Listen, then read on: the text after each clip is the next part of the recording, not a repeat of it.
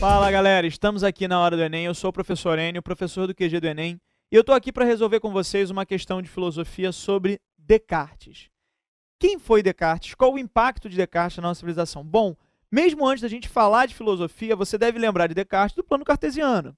Descartes é um pensador muito importante para a construção da, da modernidade. E a sua filosofia vai marcar o que a gente chamou de fundação do subjetivismo moderno a ideia de que o homem é um sujeito pensante e que é esse sujeito que determina as ações, que escolhe, que pensa e que influencia no pensamento. Descartes vai revelar um pouco do que a física já tinha nos revelado com a sua noção de referência, de que o ponto que tá, de onde está sendo observado o fenômeno se coloca em jogo. Descartes está apresentando agora a estrutura do sujeito, o que, que define o sujeito moderno.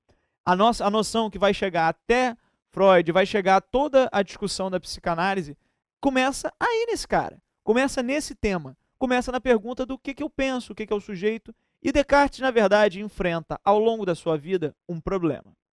Qual é esse problema? Na verdade, ele enfrenta alguns, mas um tópico principal. Descartes vive logo após a Revolução Científica Galileana. E como ele vive depois da Revolução Científica Galileana, ele se vê de frente a uma questão. Que questão é essa? A ciência que baseava o conhecimento até então era uma ciência de, vi de viés aristotélico. Tinha inspiração na escolástica e, consequentemente, ela tinha perdurado durante muitos séculos. Quando Galileu mostra o problema disso, é como se tudo aquilo que sempre te falaram que era certo, agora se mostrasse falso. Pense no que você, como você se sentiria. Mas se alguém chega para a mãe e fala: "Não, tudo isso que você estudou, tudo isso que você sabe, balela, mentira". Pois bem, Descartes está nessa situação. Tudo aquilo que ele sempre tomou como verdadeiro, tudo aquilo que ele tomou como certo, parece falso. E a pergunta é: como é que eu lido com isso? Bom, vamos aqui nos textos. Texto 1. Há já algum tempo, eu me apercebi de que desde os meus primeiros anos recebera muitas falsas opiniões como verdadeiras, e de que aquilo que depois eu fundei em princípios tão mal assegurados não podia ser senão muito duvidoso e incerto era necessário tentar seriamente, uma vez na minha vida, desfazer-me de todas as opiniões a que até então dera crédito e começar tudo novamente, a fim de estabelecer um saber firme e inabalável. Como vimos, Descartes se vê diante desse problema e o que, que ele propõe? É necessário achar um conhecimento firme e inabalável. Por quê? Pense na, na seguinte situação: alguém te enganou uma vez. Descartes está pensando nesse ponto. Se alguém te engana uma vez, você não confia novamente, a menos que aquilo se mostre muito verdadeiro. É o mesmo ponto. A ciência se, mostrou enganada uma vez. Por que, que, eu vou comprar a ciência do Galileu? Por que, que eu vou admitir que Galileu está certo e que Aristóteles estava errado? Tudo bem, Aristóteles já se provou errado, mas nada garante que daqui a pouco Galileu também não vai se mostrar errado. Então Descartes tem um problema, ele precisa de algo seguro, algo que ele possa afirmar contundentemente como verdadeiro. Vamos para o segundo texto, que é um comentário sobre isso, que é o caráter radical do que se procura, que exige a radicalização do próprio processo de busca. Se todo o espaço foi ocupado pela dúvida, qualquer certeza que aparecer a partir daí terá sido de alguma forma gerada pela própria dúvida, e não será seguramente nenhuma daquelas que foram anteriormente varridas por esta mesma dúvida. Então, o que esse texto está falando? Vamos voltar aqui. Ele fala o caráter radical do que se procura.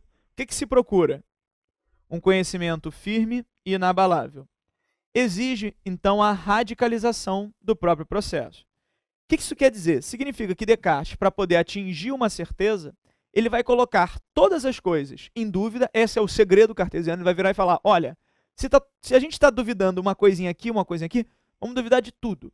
E se alguma coisa surgir daí, vai ser um conhecimento certo e inabalável. Ou seja, eu tenho que fazer o quê? Eu tenho que questionar tudo, colocar tudo em dúvida, para encontrar algo que eu não possa duvidar.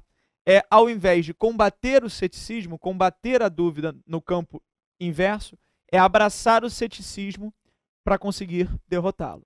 Vamos então para a pergunta. A exposição e análise do projeto cartesiano indicam que, para viabilizar a reconstrução radical do conhecimento, deve-se, letra A, retomar o método da tradição, qual tradição? Escolástica, para edificar a ciência com legitimidade. Não, essa tradição se mostrou falsa. Questionar hum, de forma ampla e profunda as antigas ideias e concepções. Isso parece estar em jogo, mas vamos ver as outras opções. Investigar os conteúdos da consciência dos homens menos esclarecidos. O texto parece apontar por essa busca daquele que sabe pouco para o senso comum? Não. Buscar uma via para eliminar da memória saberes antigos. Então, vou apagar minha memória? Não parece ser a ideia, né? Encontrar ideias e pensamentos evidentes que dispensem ser questionados. Pô, é o filósofo está te propondo questionar tudo num, num único processo. Então, nosso gabarito, letra B. Questionar de forma ampla e profunda as antigas ideias e concepções. E é com esse projeto de questionamento amplo e a busca por uma certeza inabalável que Descartes funda a sua ciência. Espero que vocês tenham compreendido. Tenham compreendido. Até a próxima.